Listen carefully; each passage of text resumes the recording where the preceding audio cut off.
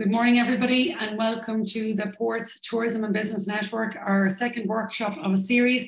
And this morning, this is all about telling your story and telling your story in as positive and engaging a manner as possible and developing that story. So I'd like to welcome you all. I'd also like to welcome our two guest speakers this morning, Liz Jones from Sigginstown Castle in Wexford and John O'Neill from Jeanie Johnston and Dublin Discovered Boat Tours as well. So thank you for taking the time to be with us this morning. The focus, as always, is to support, engage, diversify, grow, build a community, collaborate, and encourage sustainability and positive collaboration. The focus, as I said this morning, is to positively support and empower you to tell your business story, your location story, and or your destination story. The why of this is this is one of the ways now that we can engage more with our audience. Things have changed in the marketplace, as I say, on a regular basis. And our story has become very much part of a reasoning of why people will engage with you online and offline. They want the real piece now. So that is the why. And that why can turn into real business, footfall, and revenue. Any of us that are in business that is a key focus and it has to be. You're not running charitable organizations, you're running a tourism business or a business that depends on tourism in some aspect for all or part of the revenue they generate. So I want to start with some story bites before we go into our guest speakers. And I'm going to go down through seven of them. And we're going to talk about some of the success stories because there are some success stories that we've come across in our own business here at Bofin Consultancy tourism is one of the key sectors for us. Everyone that works in this office has, has come from a tourism background. Three of us have come from a tourism background. And any subcontractors need to have an understanding of that as well. We also work with other sectors, but the tourism one is, is a big one for us. So we see a lot of success stories and we see a lot of struggle too. And we see how the story can help people overcome that struggle. The brand element. The story has to be and can be part of your brand. And can you see the presentation? Can everyone see the presentation?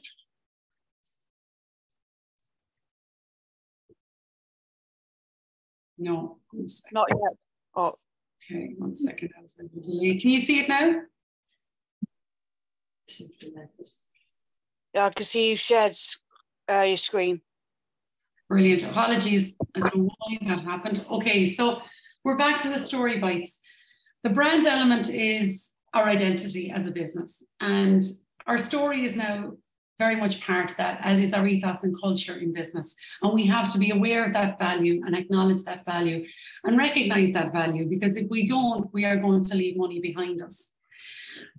Polishing the hidden gems. So today I'm going to reference this. There are hidden gems in every business. And sometimes it's easier for someone like myself or others to come in that are external to the business to see these hidden gems quicker than we do in our own business. And look, I'm guilty that my own business. I'm a business owner as well.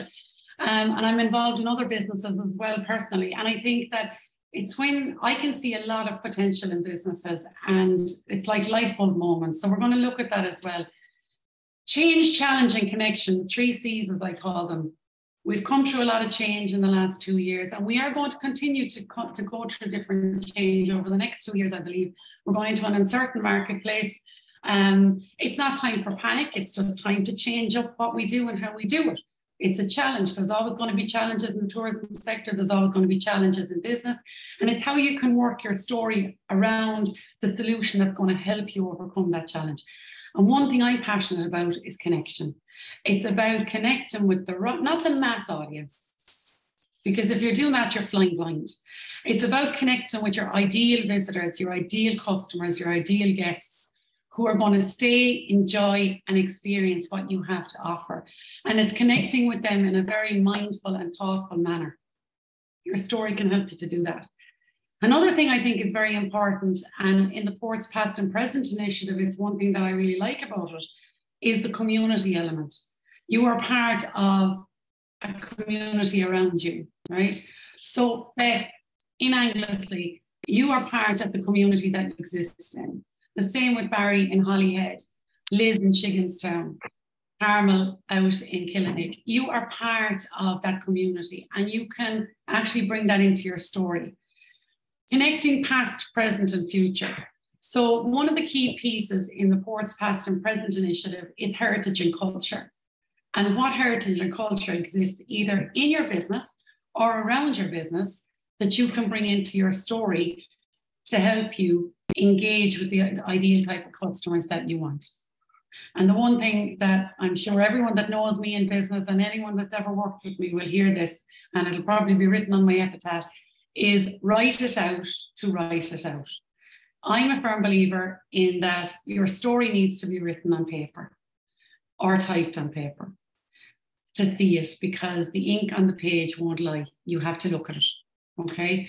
Regardless of technology, I think that's something that we have to do. So I'm going to recap on those later on. But for now, that's just a brief of them.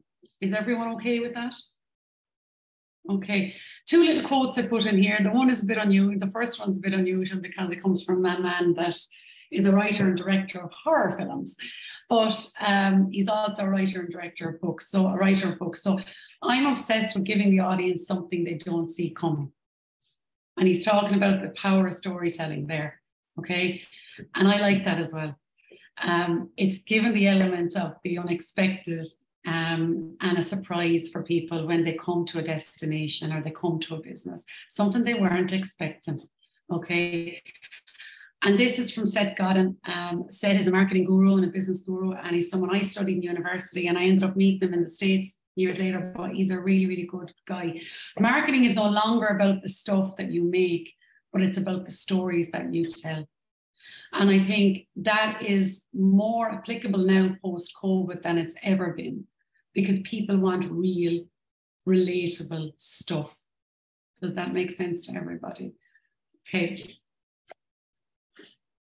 Right, some key words here when we're talking about storytelling, and I want you to think about these. As I said, this will be available as a replay, so you don't need to write down things um, if you don't if you don't feel like it. It's about emotions. It's about linking places. It's about engaging your audience. It's about grabbing attention. There's a lot of noise online at the minute. And you, your job as a business owner and as an entity is to stand out from that noise and your stories can help you to do that if they're engaged with in the right way. It's about triggering memories and helping people to create memories. It's about using what I call positive persuasion in your business model. Um, and I always say that, that COVID pushed us and encouraged positive change and persuaded us into positive change. So, likewise, in a business, you can positively um, persuade somebody to come to your business if you use your story in the right way. Identify with the ideal audience. And I say ideal audience as opposed to your general audience. It's not about the masses here because the masses is not what you're looking for. You're looking for your ideal visitor, your ideal client, your ideal customer.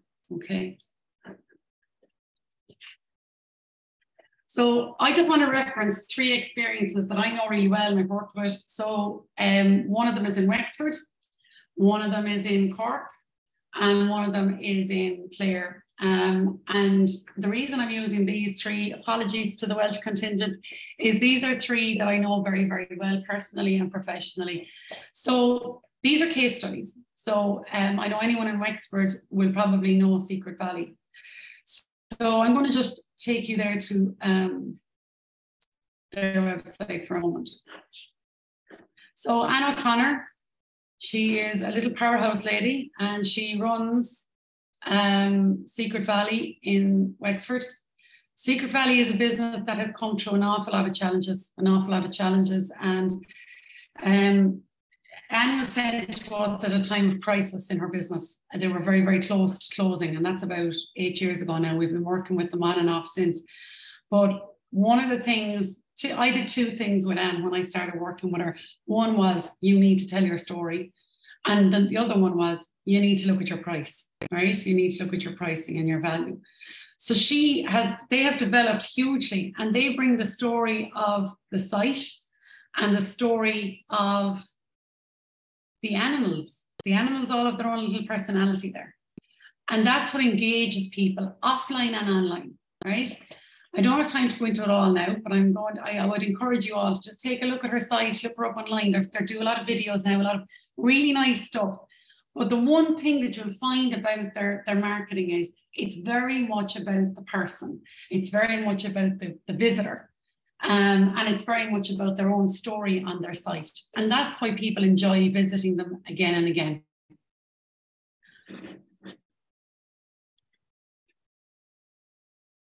Okay, so that's Secret Valley. The second story that I want to look at for a moment, sorry now guys, is the Jameson experience in Cork. Now this is a, a video that is going to take you, um, going to take you to their video if I can just get one in a second. Apologies. Here we go. Has anyone here been to the Jameson experience in Cork in Midleton? Okay well worth a visit. Um, if you're like me and you like a nice whiskey, it's definitely well worth a visit.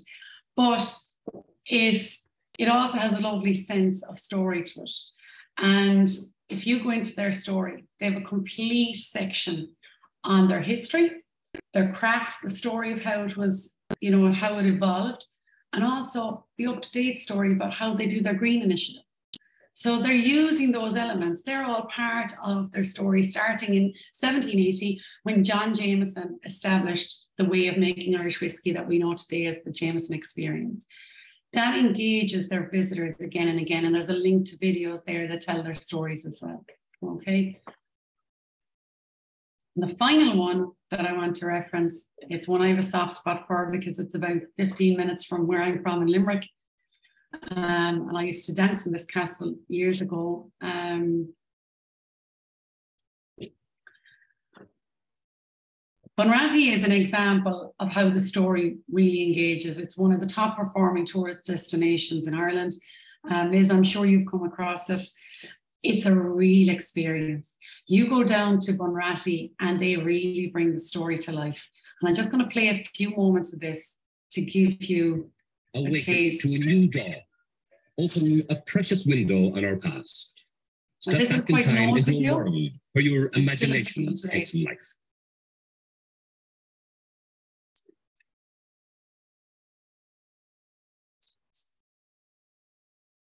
Here is Ireland's most popular visitor attraction, a detailed and authentic recreation of country life at the turn of the century, where we remember our past and lovingly relive it.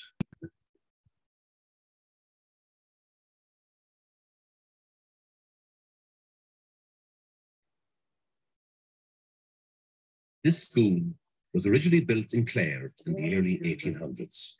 The master, Art on Moisture, as he was known, was a respected figure in the village and presided over his pupils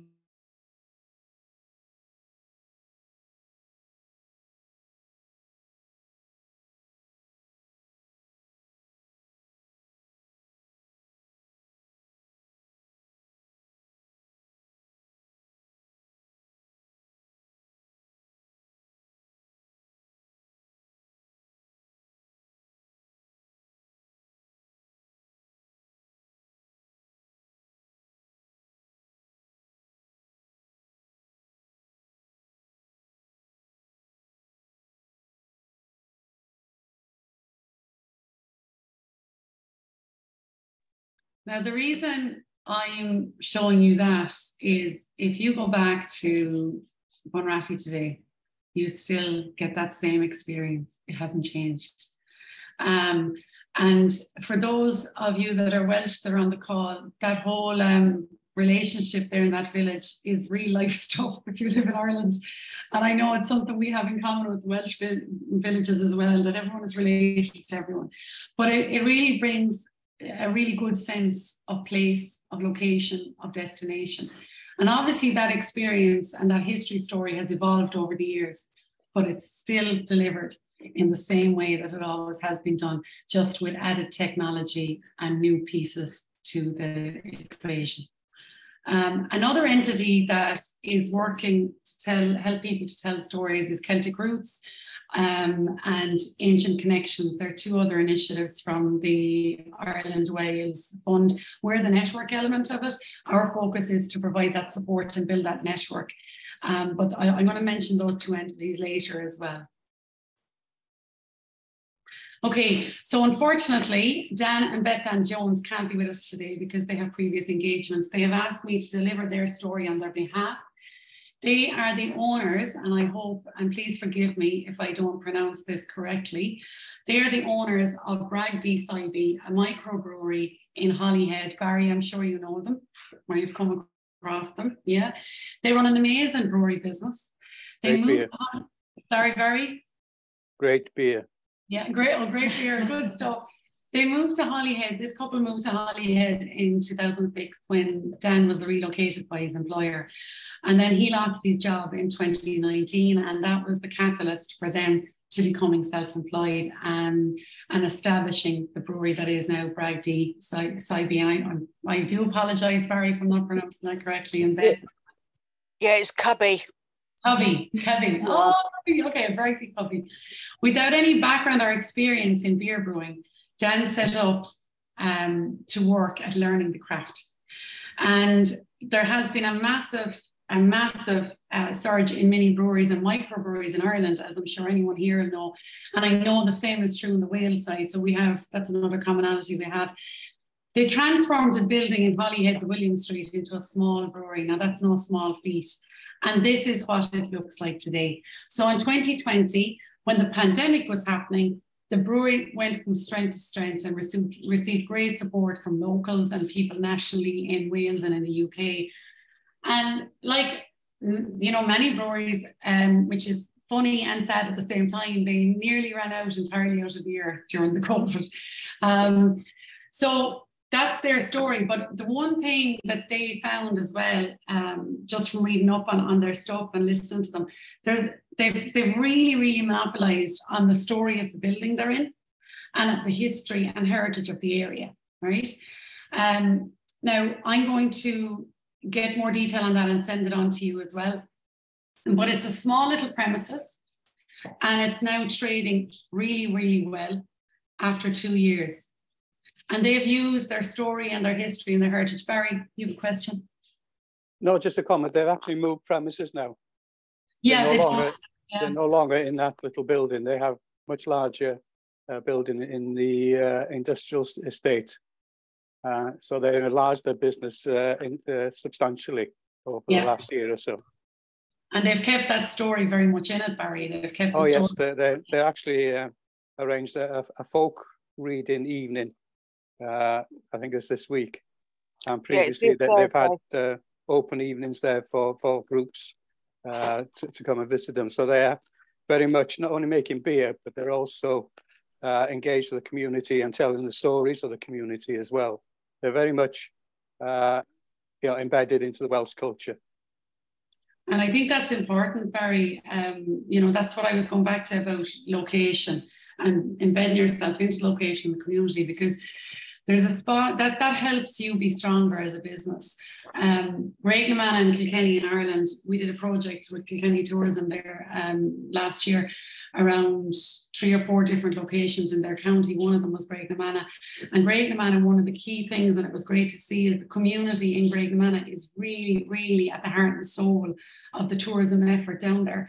Um, they rec- all the businesses recognize the value of the locals, bring them in. There's a lot of history in the area. No one knows the area like the locals. So it's very much at the heart and soul of what they do. Um, it's a real pity they can't be there this morning. Um, okay, so I would like you to, to get ready for our first speaker. John O'Neill, I'd like to introduce you to John, who manages the Jeanie Johnston and also Dublin Discovered Boat Tours. He's in the boat this morning, literally, um, with his woolly hat on. And John has kindly agreed to, to talk to you a little bit about that. So without further ado, I'll hand it over to you, John. Uh, yeah, good morning, everybody. Um, thanks, Mags, for organising this workshop. Um, it's the first one I've joined in on. It's a great range of people here here this morning. Um, I suppose, yeah, I got, got to talk about what it is that uh, I do here in Dublin. Um, and you got a nice slide up there of a picture of our um, sort of our premier attraction, which is the Jeanie Johnston tall ship, which is a uh, three-masted replica um, barkentine of a ship called the Jeanie Johnston that used to transport emigrants from Ireland back in the 1840s um, and the 1850s uh, to principally Canada. Um, as part of our um, Ireland's emigration and uh, famine history and story. Um, we came across this ship in our guise as um, Dublin Discovered Boat Tours, um, which was back then uh, known as Liffey River Cruises, which was a small boat that takes people on a sightseeing cruise up and down the River Liffey.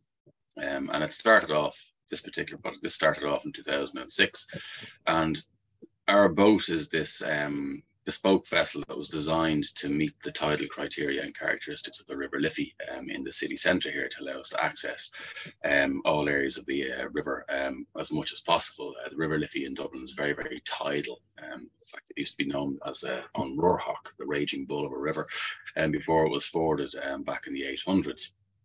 Um, and as we were cruising up and down the river on our little boat, um, which was a vessel that was built by Dublin Docklands Development Authority, who were this sort of subcommittee of Dublin City Council back in the 90s. Their brief was to um, turn Dublin's docklands into a viable commercial uh, quarter and an area where people could live and work. Um, up to then, it was dilapidated warehousing and um, old disused dockland. Um, and the reason they built our little boat was um, to be a vehicle for education of the city um, citizens of Dublin because most people who live in Dublin tend to go to the hub. You, you can't see the docklands from the city centre, so and um, the idea was to try and transport people down to this new part of the city. Um, and we've been doing that quite successfully for over 15 years now. Um, but uh, the Jeanie Johnston um, used to moor up here on the river when she came up from Tralee in 2005.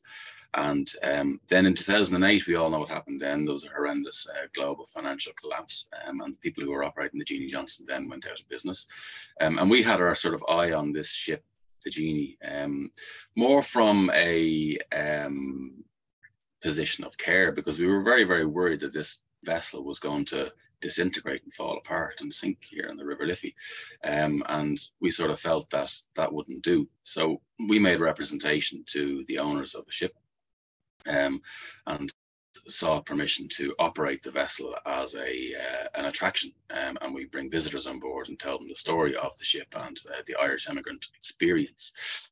Um, and they said yes um, and uh, we took it over. Um, they said yes on the 14th um, of July 2010 and we had tours up and running on the 16th of July 2010. Uh, we got people in here very, very quickly um, because we wanted to um, start working and earning funds to put into the restoration and refurbishment of the vessel. Um, and the Jeanie Johnston, um, she requires a lot of care and a lot of work. Um, so aside from just being a tourism activity or attraction provider, uh, we also are very heavily steeped in the engineering and the maintenance requirements of a tall ship like the Jeanie. Uh, we are in a difficult location in which to do that because we're um, up here in the city centre almost on the River Liffey. Uh, the vessel itself, um, she is now of a considerable age uh, in terms of timber tall ships. Um, she was originally constructed down in Kerry as a as a project um, between 1997 and 2003 in a place called Blennerville. Um, and where they built the ship was not a dockyard. They built it in a field beside a windmill. And they had to first construct um, workshops and yards and um, steam boxes and everything to bend and build and create these large timber frames that uh, go into the very fabric and hull of the ship. Um, the ship is constructed of oak frames up to um, a foot and a half, two foot thick in places. Uh, huge, huge things. The ship is 40 meters long. Uh, she's eight meters wide. You know, she has a really, really deep draft, so she sits very low in the water. She's over 4.6 meters of the ship is invisible below the waterline. So a very, very big project. Um, and then when they finished the construction in um, 2003, this ship did set sail across the Atlantic and she did a tour of the east coast of the United States um, and Canada. And then she came back to Ireland and they, they sort of didn't have much of a purpose for her after that. Hence why she ended up working day sailing trips and stuff out of Dublin Port. And then when she was closed up for two years between 2008 and 2010, um, like any premises, if you close it up for long enough and don't let the air flow through it, things start to degrade and disintegrate. Um, so we have over the last few years dried off the ship on several occasions and reinstated planks that had gone rotten, planks that were broken, um, things that were damaged, and done an awful lot of work on it. You see on this slide here some lovely images of the construction of the ship, and you get a lovely sense of the scale involved. A very, very large um, ship. Um, it's also worth noting that uh, this vessel was um, part of a greater project. It was part of a uh, cross-border uh, peace and reconciliation process uh, for the communities in the north of Ireland and people in the south of Ireland. It was um, part of a FÁS. FÁS was the um, Irish sort of jobs agency um, back then. Uh, they used to take in apprentices and train them up in the skill and the craft of shipwrights. Um, this ship through all of its endeavors and projects during the construction touched an awful lot of people's lives and made great changes for them and took people who would have otherwise gone down rather bad roads in their lives and put them on a on a good path. Um, so she had this huge um, amount of uh, there is a huge amount of goodwill out there for the ship as well. Um, and as you can see there, um, just in the last little point in that slide, um, the ship laid up in the financial crash, we opened it up to tours, as I previously mentioned, and commencing maintenance. Uh, and that's what we do day to day. We, we bring people on board, we tell them the story of the Irish emigrant and the reasons why they were leaving the country. And uh, we we refurbish the vessel, we rebuild her. Um, in 2014 and 2000, between 2014 and 2016, we had to rebuild the entire transom, which is the stern area of the ship. Um, but because there's no dry docks on the side of the country that can look after ship because we had to do it all afloat, afloat, which means that you have to invent ways of doing all these things afloat. Because most people, when you say, "What do you do? How do you repair a tall ship?" Um, you know, they say you put it into a dry dock. But we, we don't have that option here, so we have to come up with all these um, slightly quirky um, bespoke engineering practices to do what we need to do to, to, to salvage the vessel. Um, the work, as you can imagine, with a um, tall ship that's made out of timber is uh, never ending and rather relentless. So our, our refurbishment work is, is ongoing in tandem with our day-to-day -day activity as a um, an attraction provider. Um, the ship and its background story is not entirely Ireland specific. It's every country has a history of emigration or immigration. Every country has had tragedy or catastrophe in the past that has necessitated the movement of people from one side of the world to the other. Um, our ship was born out of the original Jeanie Johnston was born out of commercial need for timber in Europe. Um, so they used to build uh, these ships up in the shipyards in Quebec and Canada. And um, they they were designed purely as hulks to load up with as much timber as possible and bring back across the Atlantic, and then they would usually go back as empty hulls uh, to the forestries in Canada and take more timber back across. During the mass exodus of the 1840s and 1850s, um, the ship owners were, of course, um, only too delighted to have fare-paying passengers to bring back over um, before they loaded up with more timber. Um, the reason why the Jeanie Johnston was built as a replica and selected as a replica was because most of the vessels that were doing this transatlantic crossing um, during that period of time were referred to as coffin ships. Um, most people on board these ships didn't survive the voyage um, and they would have been unceremoniously uh, buried at sea for the most part. It was a fairly ruthless practice. Um, but the Jeanie Johnston was different insofar as that she never ever lost a single life and nobody ever died on board, which is a remarkable achievement uh, because, you know, working on one of these ships, even as crew in the 1840s, was a perilous undertaking. You know, people would die going aloft, they get washed over the sides, they would perish at sea, there would be illness, there would be typhus, there'd be cholera, um, all sorts of things like that. But the Jeanie Johnston didn't have these issues on board because she carried a doctor. He's there at the bottom uh, uh, right picture on the slide. Dr. Blennerhassett. Um, he sailed with the vessel. And he also, him and Captain Attridge, who's the man just there in the black and white um, top uh, second from the right picture, um, they very much um, encouraged good hygiene on board and they let people out from below the hold to tidy up the gear and get fresh air and all sorts of things. Um, and while the Jeanie Johnston didn't lose anybody um, on her voyages, she actually gained one person. She actually gained, um, you see the bottom left picture there, that's a lady called Margaret Royal. She gave birth to her first son on day one of the maiden voyage to Jeanie Johnston with passengers across to uh, Quebec. And she was so grateful to the care, uh, to the crew for the care they took of her on the voyage that she named her son after every single member of the crew and company on board the vessel. The boy has 19 first names, and now I can't rattle them all off. Uh, my tour guides can. His name is Nicholas Donovan Riley. Now, very, very fantastically, um, a few years ago, we had received communication from the States from this lady, uh, a lady called Ellen, and she was a great, great, great grandniece of Nicholas Donovan Riley, and she was able to send us photographs of him in his own bar in Pittsburgh. Two years later, we had um, visitors. A man called John Riley from the States came over and was on board. And he says, "My my great great great grandfather was born on the ship, and he was there with his family and his daughter who was pregnant with the next generation of Nicholas Donovan Riley's progeny. So all these people have come back and found us and come back to the ship. And there are many, many more of these people out there. So um, we tell our stories to everybody who comes and visit. People really appreciate the time they get to spend on board.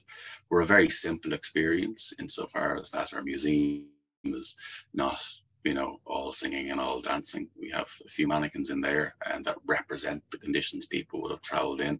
But the stories our guides tell and how they tell them produce this extraordinarily emotive response in everybody who comes on board. And every so often, out of the woodwork comes somebody like John Riley and his daughter. And um, it's, you know, so the ship continues to reach people. Um, and as I say, it's not entirely Ireland specific. Um, it has resonance for um, people who are interested in the maritime sphere and side of things. It has resonance for people who are interested in uh, worldwide diaspora, irrespective of their own country of origin or where they hail from. Um, and you know, we we do our best to, to, to manage these stories and tell these stories and keep the ship busy. Um, we operate in a very challenging environment. Um, as everyone who's involved in tourism knows, the last two years has been very very difficult. Um, like our river cruise boat, Dublin Discover Boat Tours, because of the restrictions in place in Ireland, couldn't operate at all for two years. Um, the Jeanie Johnston, we managed to salvage a little bit from 2021 because we were able to convert and you know redesign our tour and flow on board to conduct everything outdoors. We had the luxury of the outdoor space. We were able to do that. But we were working with very limited numbers because our typical onboard group size was slashed in half to allow for all of the social distancing that was required in that. But still, people came. You know, still people came and visited. They wanted something to do.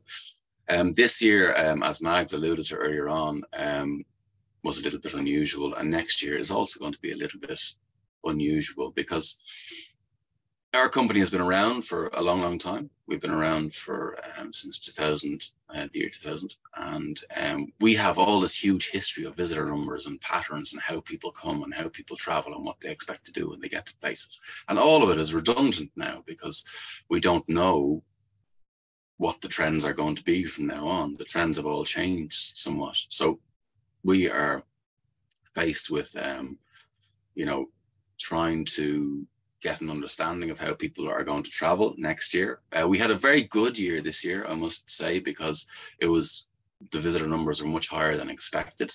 Um, we thought it would be a little bit more of a, a softer start than it was, but clearly people were tired of their own locale and needed to get out and travel and broaden their horizons again. And they've done so rather relentlessly all year long. And the numbers have sort of kept up. It's starting to flag now as we head into winter and people turn their thoughts towards Christmas and that.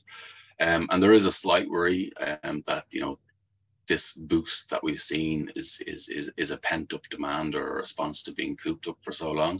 And we are very hopeful that it will carry on through into um, 2023 and beyond because and that it's a pickup of where we left things off in 2019. 2019 for me on the River Cruise and on the Jeanie was the biggest year we'd ever had in all our years of trading in terms of visitor numbers.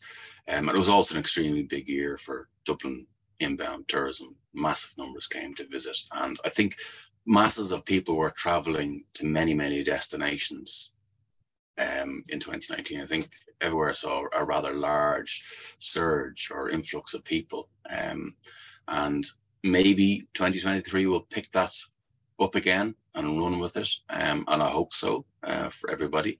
Uh, or, you know, there is a little bit of uncertainty there, which is, you know, sort of we kind of have to build into what we expect um, next year.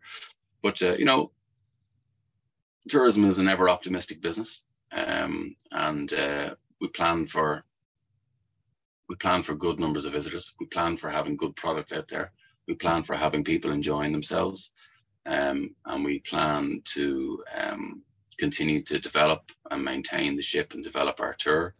Uh, we work in tandem with local partners here in the um, city to uh, do our sales and marketing and that sort of stuff. And we're looking at um, revisiting all the plans we had put on hold in 2020, which are things like, you know, upgrading our museum, upgrading the visitor experience, upgrading how we deliver our product. But it's a it's a sensitive um, approach we have to take because we don't want to undermine or diminish the response we receive from our visitors or, or, or how our story is told or, or, or the the importance of the story that we tell. You know, it's a it's a it's a particularly delicate piece of history uh, that has to be handled a certain way.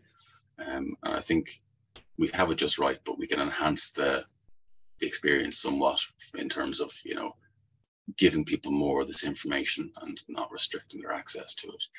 Um, so yeah, um, that's great. That's us here on the river, and um, I hope that wasn't too rambly. Um, if you have any questions, feel free to ask away.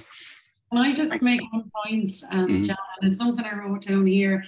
Um, I might I might actually do a call with you at another stage, but because I have a little idea. But there was one thing I wrote down here um, that the, the Jeanie has fundamentally done by the sounds of it. It has helped change people's lives.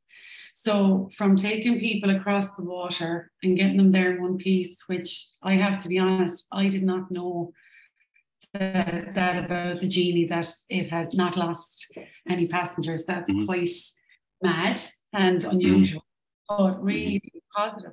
But one of the things there you mentioned there, and there's something that kind of hit me when you said it, that when all the refurbishment was happening there after 2008 and and and even before that, that you brought on FÁS workers and that it changed people's lives. So that's part of its story as well. Um, and I don't know if you referenced that, but I think it might be, if you don't, it might be something to think about because it's just making it relatable again and bringing a new uh, chapter into the, the story. Yeah. Um, just just on that, Mags, I I I um I, I might have um crossed your wires a little bit there. I, I can't take credit for the FÁS workers. That was part of the um the original build of the ship. Um mm-hmm and now you're right that the ship did change people, but I certainly can't um, um, say I I did that because when when they started constructing the ship in 1997 uh, down in Blennerville in Tralee, they they built this whole program, and ultimately the goal originally was to have the project be the building of the ship in this field. Um, and then they got involved in a lot of Millennium projects and that sort of stuff. And you know, the idea for the transatlantic voyage was there, um, and it was they they used what they were doing to um, partake in their own way of the Good Friday Agreement. You know, and they they they took people from north-south uh, communities they took people from the east-west communities of Belfast and brought them down and linked them in with um, kids who would have been working on FÁS training schemes here um, and brought them down and taught them how to become um, shipwrights and ship's crew. Um, so they they did that side of stuff, um, and I think it's, it's, an important thing to recognize in in in, in as something that happened during the build of the vessel. Um, but it wasn't me, unfortunately. No, no, no. I, I know um, that. Yeah. I know that. But it's yeah. just for reference it at some point mm. because it's something that I know for a fact, John, mm. and I know for a fact from talking to people across the world about how things have changed in terms of tourism marketing.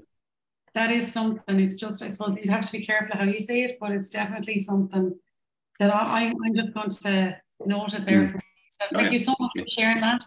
Um, uh, that's that's a really nice story. I've been up to the Jeanie lads and uh, it's quite an impressive um, spot. Uh, it's a very empower. It's a, a very has a proud presence. Um, the sheer size is just quite strong. Um, so I think it's well worth a visit. Um, and I just put in a, a, a, quote there. Our stories may be similar, but our destination there. And can somebody there's an interference coming in? Think I'm gone. Um, so thanks again, John, for that. Really appreciate. So now I want to introduce you to a little powerhouse called Liz Jones. Liz is, um, are you in Connecticut, Liz? I right in? I, I am at the moment in Connecticut, yes. So thank you so much because I know the time difference is not pretty. Um, and it's a lot earlier out there than it is here. So thanks for hopping on this. And Liz is going to share the story of how herself and her husband Gordon have taken Chicken and taken it from what it was in the past to what it is now. So I'll hand it over to you, Liz. Sure. Uh, there's still a, a, bit of background noise uh, on the phone, so hopefully folks can hear me okay. Uh, so yeah, this is uh, this is us in front of the castle, Gordon and myself, and this year. So this is a, a far cry from where it was, and this is us, and uh, we're usually in a somewhat slightly disheveled state because we're still doing construction. Go ahead to the next slide, though. Thanks. So just some background points. We won't read all of this, but uh, we do live in, the, in America uh, part-time. Uh, as the years go on, we spend more and more time in Ireland, but we uh, decided to retire there. I'm not uh, yet retired, so we, I kind of do this project part-time. Gordon does it more full-time. And uh, we've been there over the years. Gordon does have some Irish ancestry and actually some Welsh, which we'll talk about. Um, so he, we, we bring different skills. So uh, I, ni- neither one of us had done anything really with building too much except our own more modern build here. Uh, I swore we'd never do anything like that. At least Gordon swore he'd never ever do a house build again. Well, okay, we built a did a castle instead. Uh, I'm a project manager by trade, so that does bring some help into it. And uh, Gordon's a professional musician and ambulance uh, worker. So uh, we did look for a number of years uh, in in Ireland, wandered around looking at various castles of various types, including ones that were really just very small piles of rock that I thought were enchanting because they were less expensive. And Gordon said, no, you're absolutely mad.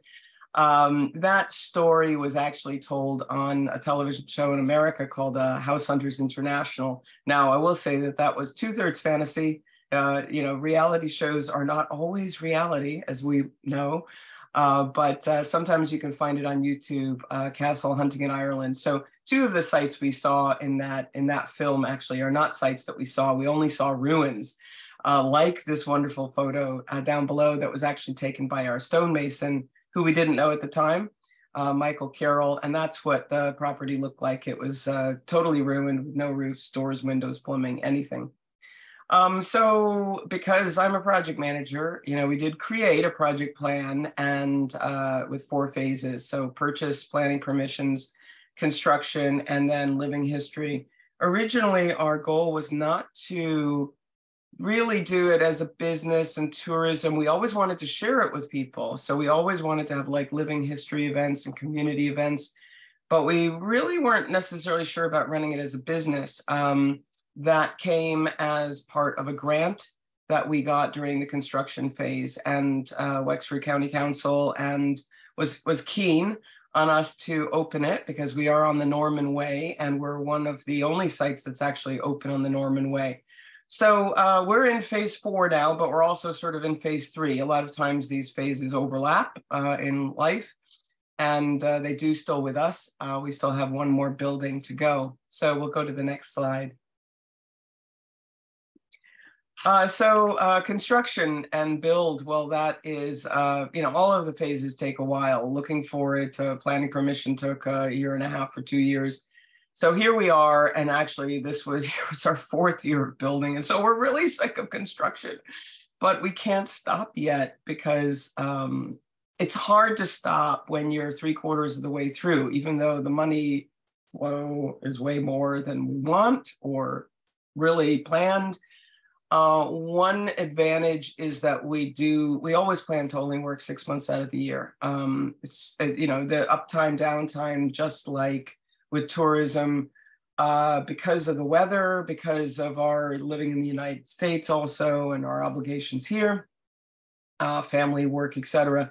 So uh, that has really helped. And in, in a strange way, it definitely helped with COVID because, um, you know, with all the lockdowns and all that, we just came over and did uh, phases either, okay, we switched to things we could do ourselves or learned to do, or we waited till lockdown had relieved and then people came on site.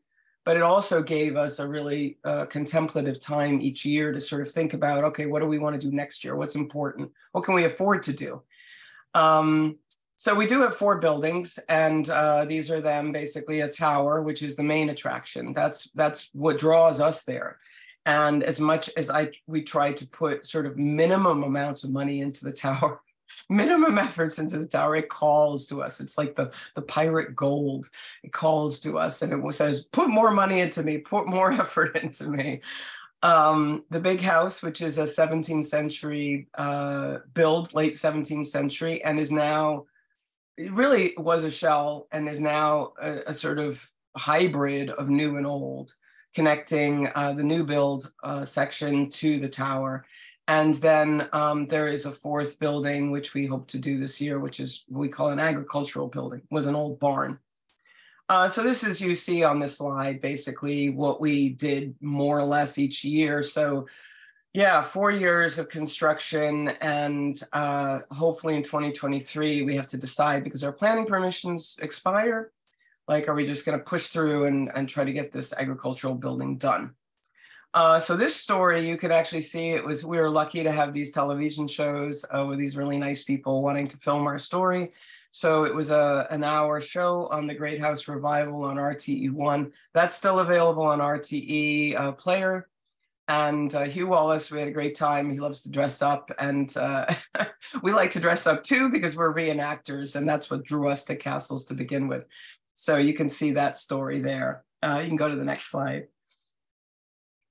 So uh, just a little bit about the Wales connection, because when we found out about this project uh, and were connect uh, asked earlier in the year if we wanted to be part of it, um, coincidentally, I had done a number of uh, bits of research. I actually went on my birthday uh, in 2018 on this whirlwind tour of driving into Wales on my own uh, after flying into London and sort of whizzing around Wales to find a place near Cowbridge called Sigingstone or Tresigin, um, and I don't know how to exactly to say it in Welsh, but uh, we've been there a couple of times now because it is it is our thought, it is my thought that see the um, the Sigyns who built Sigginstown did come from southeast Wales, and that's documented in very well we think it's uh, that that that migration of people is documented in in various places. There's so many townland names like Sigginstown that are identical in southeast uh, Wales. So uh, and Hugh Sigyn, uh, I've learned to sort of say that Llantwit, I understand in Glamorgan, the Vale of Glamorgan. He's a juror now. They disappeared. Um, I would love to find if we talk about those uh, those students in university in Wales. I would love to find a, a Welsh speaking medieval student uh, who could do a lot more research in, in medieval Wales and dig up more because I have no Welsh, so that's difficult. Um, so uh, we and we also found in a new time that there are photos that people have brought us from people who have emigrated to Wales and England uh, who, who, show the castle in earlier times. So we're always on the lookout for photos of the castle in earlier periods, which are hard to find. Um, Rosslare Port is 15 minutes away from us, so that's uh, that's really helpful. And now that it's kind of growing, we want to take more of uh, the time to go on the ferry. So actually, we went there this year. We were a part of a castle studies group tour to Wales, and we went back to Cowbridge and Sigynstown. I drug Gordon around. I said, "See, see, look at look. There's the sign, and I can imagine them driving or, or walking down these roads." Uh, so anyways, we have documented some of those stories on our YouTube channel, which I need to do more on, on searching for SIGINs. So go ahead. So uh, what, what happens uh, now? I mean, well, stories going forward. So we would like to expand. We, we did open for tourism in 2022, and that was challenging because, you know, we we're still doing construction. So we have to tell people, you know, you're on a construction site, please see, sign a safety waiver, don't go near the scaffolding, don't mind the workers. Um, and we're open on weekends, um, not usually during the week when construction work is going on. But, um, you know, basic tours, we knew we wanted to do that. We were encouraged to do that, but they're very static. You know, you see, you see rooms that are not occupied we have tried to put um, mostly replica furniture so that people can sit at the tables. We don't have an environment where you can't touch. You know, we, we you have to climb up 55 steps if you want to get to the top of the tower. So we want people to be able to sit down in a room to rest and to tell the story perhaps of each room and our renovation. Um, so we um, we have told the, the stories in the past about a lot of uh, our story, of course, how we found it, how we have renovated it, also the people who have volunteered and also our contractors because a lot of them come from the community. So we're that's been wonderful for us because they have an interest in seeing this building survive. And some of them are connected, uh, you know, as their families were, were descendants of the castle. But what we want to do going forward, uh, little little photo in the bottom there, uh, we would like to have more experiences in the castle. So we talked about Bunratty earlier. It's interesting because that's at a scale that we cannot replicate. Obviously, we cannot start a folk park and all of that. We're interested in all those trades and crafts, but we cannot do all of them uh, there. So we want to focus on the ones that um, we can do mostly our, our own skills. Uh, we do have a couple of uh, characters coming, hopefully this this coming year um, and uh, telling the stories of uh, historical beverages and things that we can manage on a smaller scale. Our, our real interest is that people get to experience these rooms as they might have been, you know, obviously a bit of fantasy in uh, a time period. So you get to feel that and you get to be have candlelight and you get to eat and drink potentially or have music in the tower and in some of these other spaces, including the big house. So that's what we're looking for in 2023. We'll see how we get to it and um, just really excited about uh, doing some of this and connecting with some of the folks. You know, we certainly understand uh, that the tower needs a lot of care and feeding uh, going forward, just like the Jeanie Johnston Oh, and I see we've got some additional photos. yes, of of how how kind of the journey has gone. Thanks, Mags.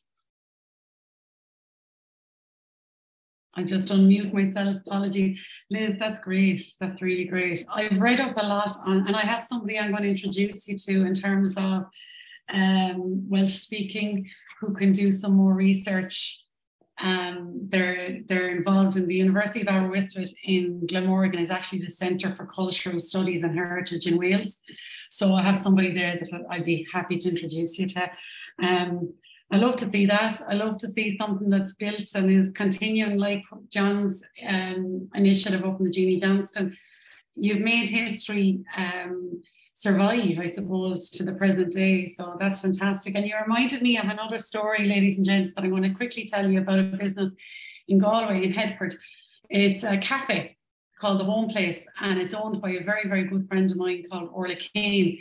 Orla Keane, she is uh, from the singers, the singing family, the musicians, the Keanes, Dolores Keane, Matt Keane and Orla's a chef by trade. And she took me up to see the property before she opened it. And she said, Do you think I'm mad? And I said, Well, you're a musician and you're a chef. So you're going to have to improvise here. You're going to have to balance the two out. So she said, "Can you help me?" I said, "Absolutely." And as a friend, I, I rode in and I and I helped her. And she said to me, "I want to do something. It's called the Home Place for a reason. The Home Place it came out of a song that Orla sings." And who will watch the home place. And if you look her up, she's an amazing voice. Um, and it's one of my favorite songs that she actually sings. So it was lovely to see her name the place after that. She's an exceptional chef, but also what she is is an exceptional natural born organic entertainer. So I said to her, Have you thought about doing session suppers? And she said, I thought about doing music, didn't know quite know what to do it.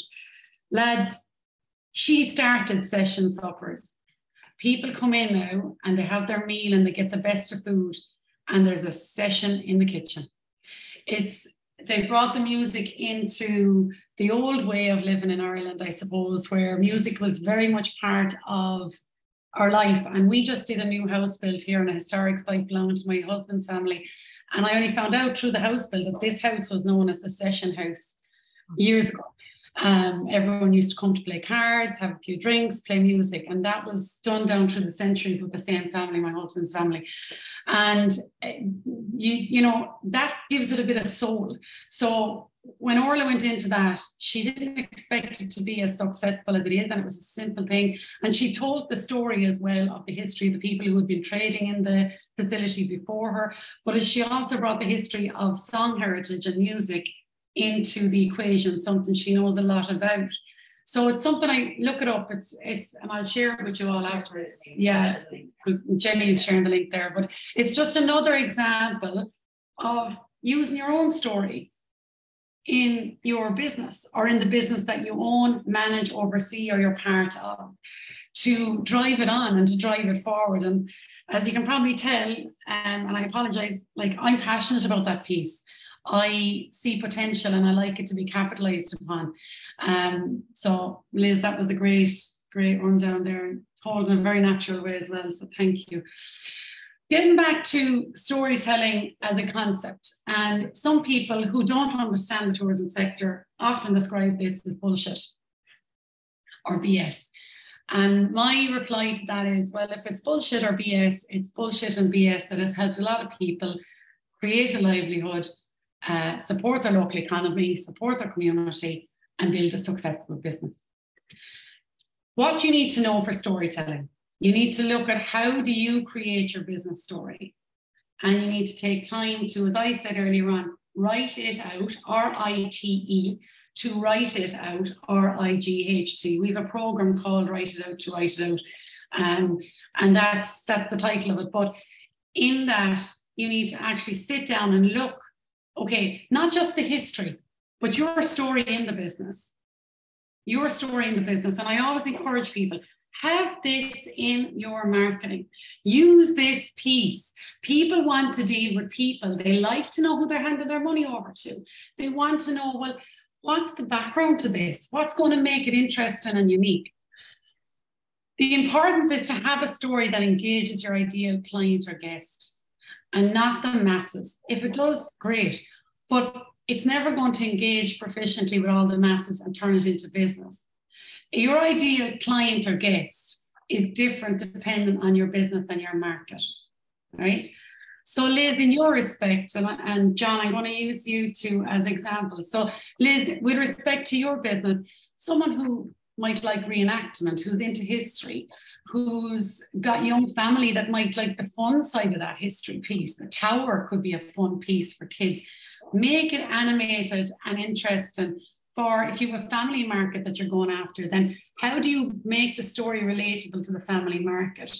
How do you make the story relatable to the reenactment market, which is quite big, and also to the military market, people who are interested in military history. And with the Jeanie Johnston, John, um, I know you know this inside out, that would be um, a big piece as well. People who have that interest in that, you know, maritime history, military history, Dublin history, genealogy history, when it goes to, you know, those who sailed in that ship and made new lives for themselves in other continents and other countries. What are the benefits of developing your story for your business, your location, your region? What can it help to do for your business, your location, and your region. Okay, so can you collaborate with Sigginstown? I could definitely see a collaborative piece there with the Welsh side. The Jeanie Johnston, definitely see a collaborative piece there with the likes of Holyhead, Pembrokeshire. And active, Pembrokeshire in particular, it's a very active port. And how can you develop something that's going to benefit those three pieces your business, your location, your region, and I'll throw another one in there your community. So, a lot of the ports, we five ports in the ports past and present. There's always ports traditionally always have a disadvantaged area in the mix. Um, coastal areas are like that. It's the same in Limerick where I come from. We have a port down in Foynes and a port coming into Limerick. And there's a disadvantaged, a working class area there that have suffered through different times of job losses, um, regeneration or degeneration. So, how can you work to support the progress in that respect? What types of storytelling can be used? And are there any rules that you should stick to? What types of storytelling? Do you bring it in in a video piece? Do you bring it in in a written piece? Do you create a soft copy storybook for the family market? Do you create, um, as I said earlier on, a maritime piece for those who are into that? Do you do it online? Can you do it online and offline? The one thing I would say to you here is, and this is something I feel strongly about, don't put all your eggs in one basket when you're doing your marketing and your storytelling. And you'll hear this again and again and again from me. Do the hybrid model. Remember that people are getting exhausted from just pure 100% online. They want real stuff too. They can get that online, but bring it down to offline as well.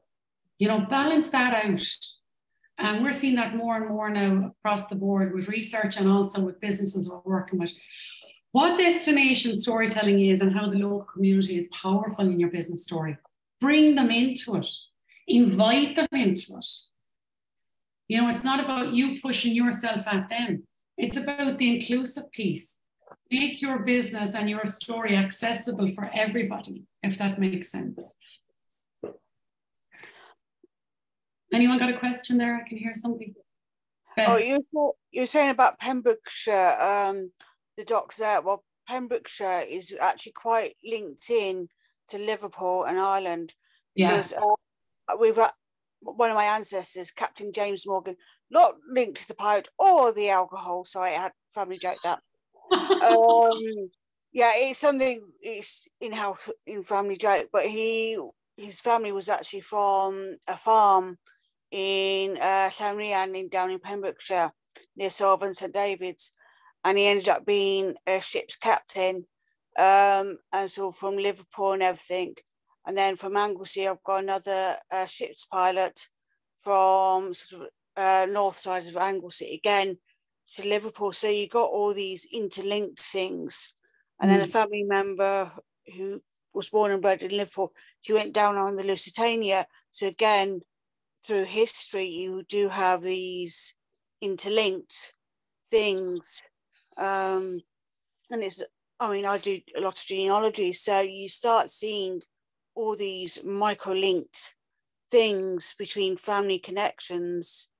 And as you said, it uh, photographs are really useful because people go, "Oh, didn't spot that before." So it's those little nuggets. Yeah, um, yeah, yeah, and using those nuggets as well because if you don't use them, people will never know about them. Um, and you can't capitalize on them either if you don't use them. And they're things that will engage curiosity, they will engage engagement, um, and it will help people to take a closer look at what you're offering and your location, what your location offers in terms of a, a whole well rounded experience, not just about your business. Your business is part of their location experience, but Tell them a little bit about the location around your business, that story as well, if that makes sense. Thanks, Beth, for that. Um, okay, so what's your story, right? So I've just put a couple of tips there um, about telling your story online and offline. And unfortunately, can't go into, we have a limited time frame, but digital destination story tips, know your audience. I have a thing, H2H, human to human. Remember that you're dealing with a person. You're communicating with a person every single time, not just a platform. It's a person behind the keyboard. Okay. And it's important to remember that. Make the customer the hero when you're telling your story. And what I mean by that is bring them into it, make it central, make it relative to them. I mentioned at the start thoughtful and mindful storytelling. Be very mindful of how you tell the story. And John mentioned it there earlier on. So, you know, you have to handle your stories with, with kid gloves sometimes and with care. Um, you know, people say to me, Oh, you can massage the truth. You can, yeah. But is that right sometimes? Um, massaging the truth within reason, I would always say. Um, but just be very mindful of the story you're telling and the people that are in the mix.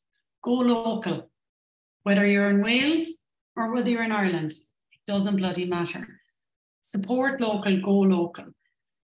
Look at your community, bring stories from the community into the mix that are relative to your business. Okay, and invite those stories in. After this workshop, um, with everyone's kind permission, I'm going to um, Alva, who is working for the University College Cork, they're one of the stakeholders in the Ports Past and Present initiative. They're looking for uh, story opportunities from everybody. So they may contact you to tell your story that will be included included on the website reports Past and Present and also on the app, but we'll talk about that in a moment. Collaborate and be unique. And that project that we did in Kilkenny, the remit was to help businesses in three locations to develop unique experience op- offers for people coming to Ireland and coming to Kilkenny. And by God, Jenny's sitting across from me here this morning. By God, did we did we develop three unique offerings with those businesses, and it was a really lovely collaborative experience. We've done it in Tipperary, and I've done it up the north as well, to bring people in and get them to encourage and empower positive collaboration and bring in uniqueness and something that's going to make them stand out in the right way. Be visual, Beth related there to, to, photographs. Use your photographs. Use video. Video is now read ahead of text online. And that's starting to change again now. So we've got to keep ahead of the posse insofar as we can. This doesn't have to be a pressure piece. It's about simple little things that you can do and get them right one step at a time. Okay. So that's the digital side. Now there's a bit of crossover here with the offline. So the offline destination, destination story connections, again, the community connection, keeping it real. If you're going to put something on paper or you're going to present yourself in the person in front of an audience, keep it real. People can see when you're telling them a lie. All right. Make it relative to them. Make it relative in this day and age as well as much as in the past and in the future. Right. And one of the things about Port's Past Present initiative is the, the pieces of media that they have developed that I'm going to speak about in a moment that you can use to help your story. It's about taking what's in the past and in the present and helping it to sustain your business in the future, right? These three, well, the first word in the next sentence, authentic. People are sick and tired of hearing that word authentic in the sector. Uh, I know in Ireland we're, we're demented from it, but it does have its place. Tell the authentic story. Remember the emotional piece and remember that personal connection with people. Okay. Um, create stories that are going to create dimension um, to the experience that you offer in a different, unique, and real time way.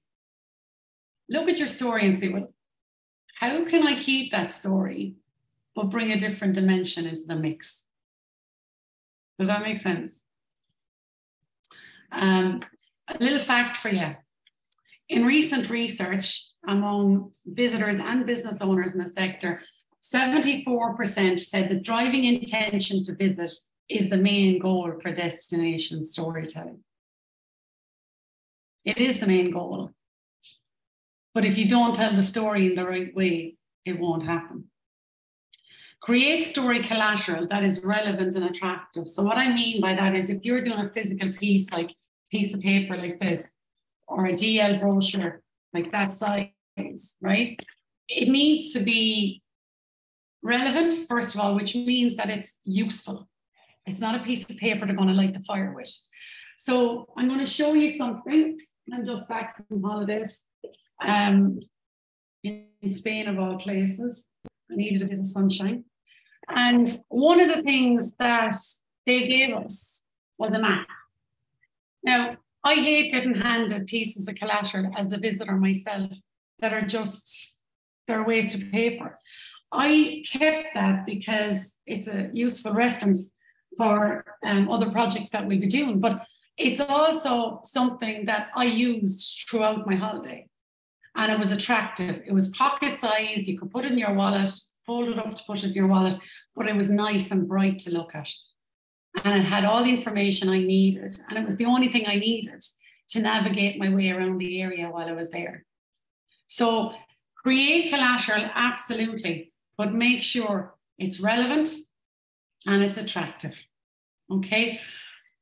Some useful links that I know you're not going to get a chance to jot down. I'll share this with you all afterwards.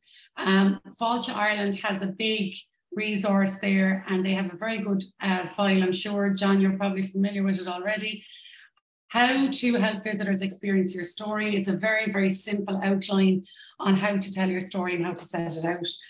Um, another piece that we're going to provide to you is a video from Switzerland on how an entity over there tells their story, a business entity in the tourism sector, and an interesting article from the BBC, cutting edge tourism model that's in Newfoundland. So those pieces we're going to share with you. And there's other resources as well and opportunities. So the first one, obviously, the reason why we're all here is the Ports Past and Present media listing. So Jenny is going to share out a list of those media pieces um, and video pieces. They're only as good as the use you make of them. If you can bring them into your story, bring them into your story. So I can't make anybody do that, and nobody can make anybody do that. But I would encourage you to do that if, if at all, if you see the value in it. These are professionally produced pieces. They are a free resource, free to everybody that's part of the network. Use them in your business if you see the relevance. Why not? Um, and there's pieces there on Dublin, on the Wexford coast, on Pembrokeshire, on Holyhead, and on Fishguard. Um, there's also the Ports Past and Present app. In another upcoming webinar, we will have the person who developed that app James on to talk to us about the app and how to use the app in your business. And this again, I like anything that's a bit progressive and that's smart, that's thinking smart, that's helping you to work smart as a business. So this app will give you the opportunity to upload your own profile, your own content, and engage with people on their phone. We all use our phones. We all, if you're like me, you have a list of apps um, that you use and I will delete apps if they're of no use to me, but I will keep the ones that I know I'm going to use over time. Okay.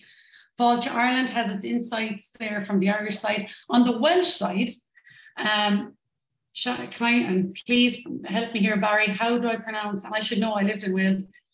How do I pronounce that word correctly?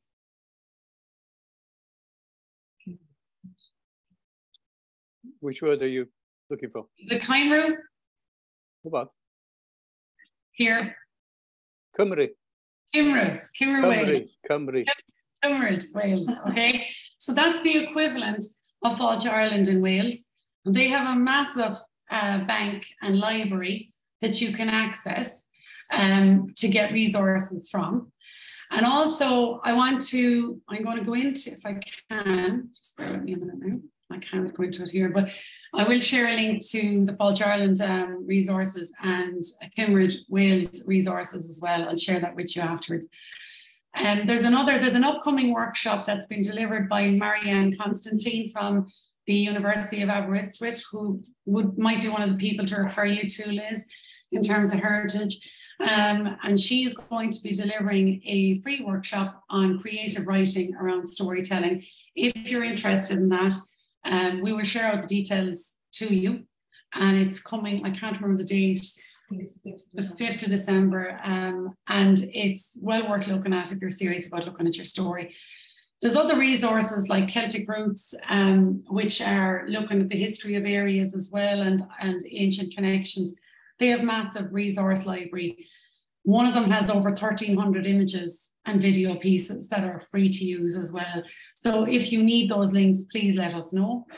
Um, it's all about, I know that, you know, the, the Ports Past and Present initiative is to help positive networking and positive collaboration. But I also want to look at how these how businesses can help themselves to progress in the area that they trade in, um, in their community, and in themselves. So again, a reminder: remember the success stories. I mentioned the home place, Secret Valley Wildlife Park, Bunratty Castle, and just on Bunratty there, Liz. Um, the castle is quite separate from the rest of the park. And they have a very small team, a very small team. A really good friend of mine was a tour guide there for years. It's really basic stuff. So you you have a very lovely piece similar to that castle because they don't have a lot of the castle is gone. Um, whether you realize that or not, it's not a huge, massive property. So, you know, Sigginstown can give it welly as well. Um, remember the relevance of your story to your brand. You're building a brand, something that people can identify with polish the hidden gems and look for those hidden gems. They're there.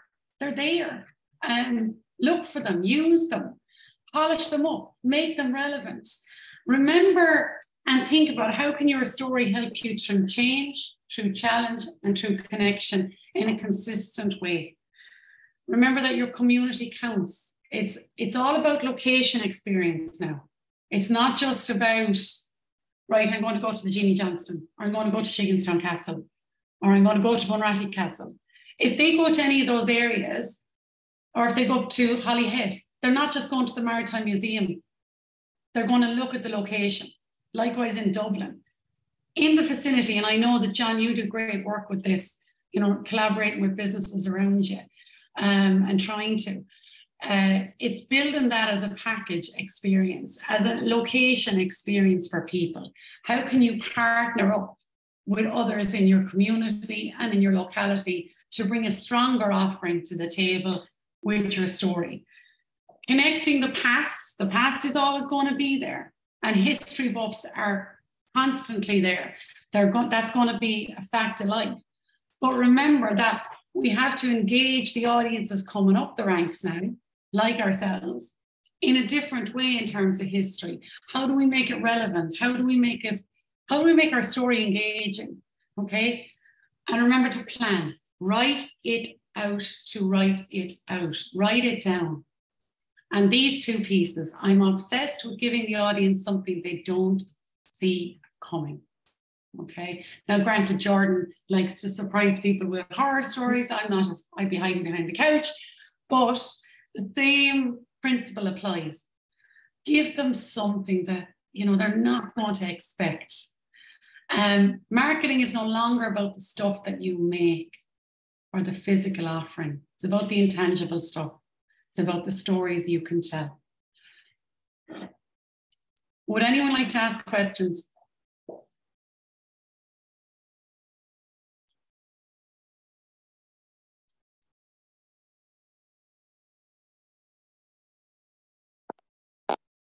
Anyone at all have a question? Barry.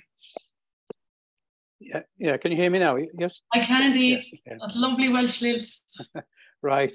Um, yeah, in, in our Maritime Museum, we, we have a distinct approach where uh, we have guides uh, interacting with all visitors and we tell the story uh, verbally as much as uh, let them wander around and, and read for themselves. And it's it's part of our our success, we feel, is that we, we, we do it that way. We're not a museum where people walk in and there's nobody there to talk to. So we, we, we're always we're always telling stories, and many of our volunteers have that personal connection with these stories as well. And I think so. I think you know we go along with with what you're saying, uh, tell the story, and, and we always try to do that. What we are failing at, if, if that's the word, is that we do very well with visitors coming to the museum from elsewhere. We have difficulty engaging locally with, with people who live in and around Holyhead. Maybe it's because they already know the stories, but it's difficult. We find it difficult to get them to come to the museum. Have you got any sort of thoughts on that sort of uh, um, problem? Yeah, I do. Uh, the first thing I'm going to say to you, Barry, is uh, I'm delighted to hear you do the face-to-face piece. Um, and I'm delighted that you have that resource there because uh, the big, one of the biggest challenges in the, in the marketplace at the moment is finding people that can actually engage with the public. um, and I'm sure no one here would disagree with that. Um, it's it, you're in a very good position in that respect. When it comes to the local community, you have to put yourself in their shoes, right? Um, and and just and do that from a real objective viewpoint. Where are they? What are their challenges? How can you engage them?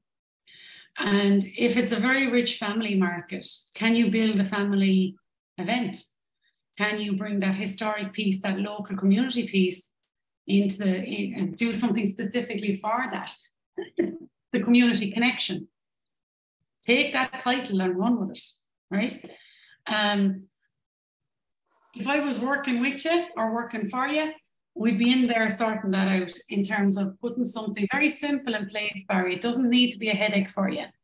Um, because I know that you have a lot of volunteers and you give up your free time to, to run and support that. And yes, that's something that has come from a lot of the ports, Barry, actually, is how do we engage the community?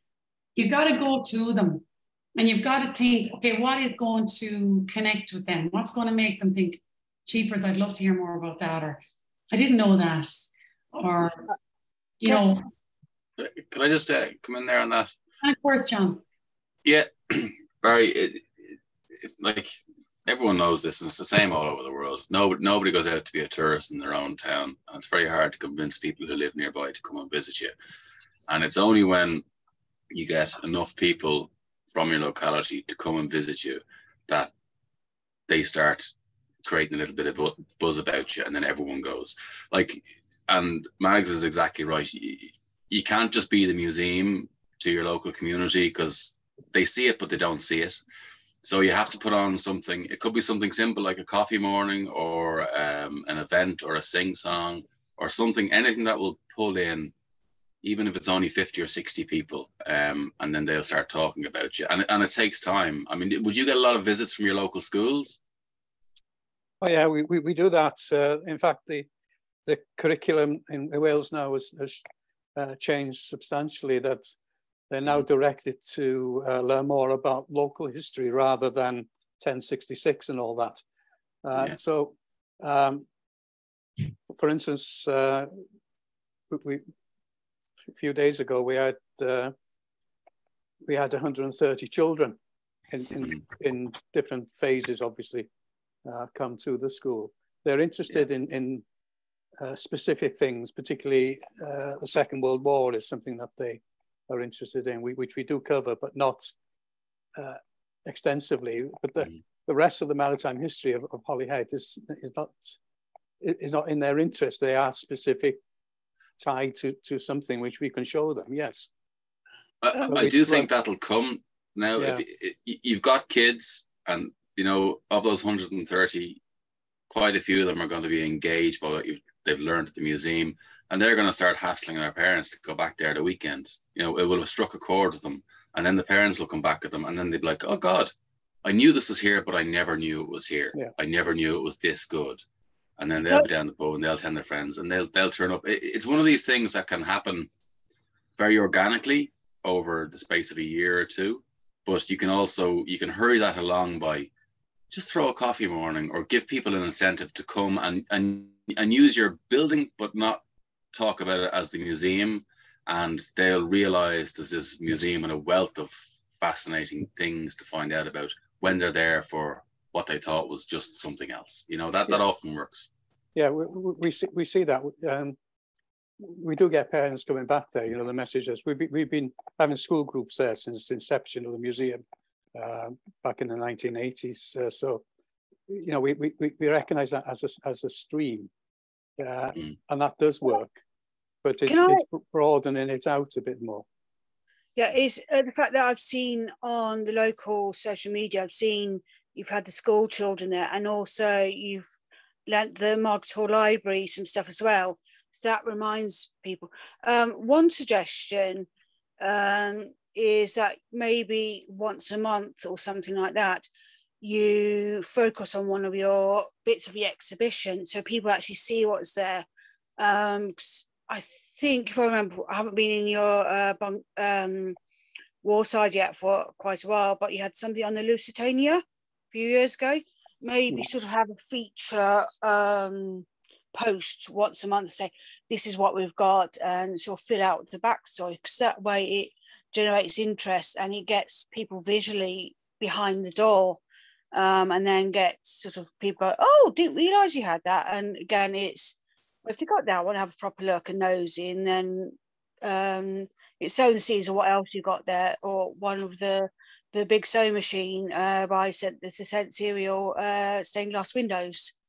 So again, it's sort of showing people what you've got. You don't have to do the full museum, but you could make a sort of post once a month showing people what you do have. Because um, I wouldn't necessarily think Maritime Museum, they've got a church's stained glass windows in there. So again, it's showing sort of cross selection of what you do have. Yeah, we, we, we do have a, a, a blog, an active blog, which uh, you know tells various stories, and ports past and present have, have picked up on that and uh, taken some of those stories forward and, and put it into their uh, output as well. Yeah. So, so we do worth, recognize, yeah. Yeah, and it's worth doing it on your Facebook as well, Facebook page as well. Hmm. Um, yeah, we, just... we do keep, you know, we, we use social media as much as we possibly can. Yeah, I, I try, I, uh, you know, that, that's one of my remits. It's uh, within the the trustee group is to, is to run the social media output and the website and things like that.